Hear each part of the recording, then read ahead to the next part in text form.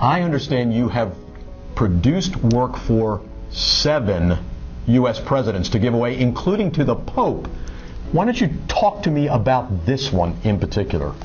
This one in particular was done uh, for Bill Clinton when he was president, and it was an economic summit of the Pacific Rim countries, of which there are 17.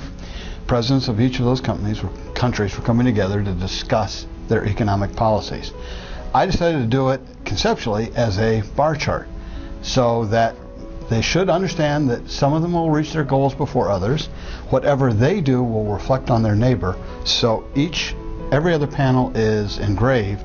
It is a rhododendron cluster because the conference was in Washington, uh, Seattle, Washington.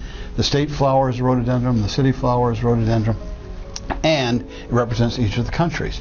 You'll see on this side, there's a little tiny one squeezed in there, and the reason we have this piece of crystal is that we made extra crystal just in case another country decided to come at the last moment. Wow. And one did, and so there are now 17. We originally were supposed to do 16. So you're producing these for the presidents to give away to foreign dignitaries as gifts. So let's talk about this one because I understand this one was not for the president but for his wife.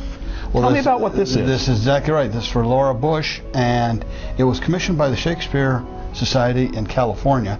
She was going to be a, a prominent guest, and they wanted to give her a gift.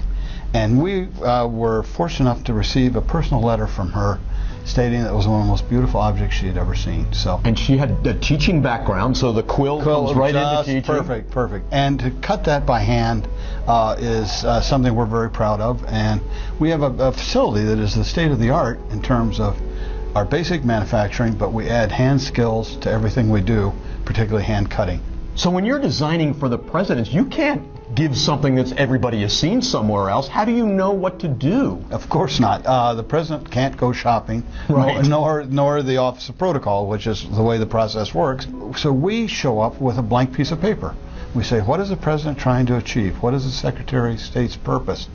And then we design conceptually to meet that. So when they are presenting it, it's like the economic summit. He can tell the story of what's behind the gift. So he now gives the gift to tell the story about it. There we go. It puts a purpose to the art. And it all comes out of this head. Well, uh, yes, it does. Yes, it does. it's great. Uh, someone said creativity is someone who concentrates on things they love.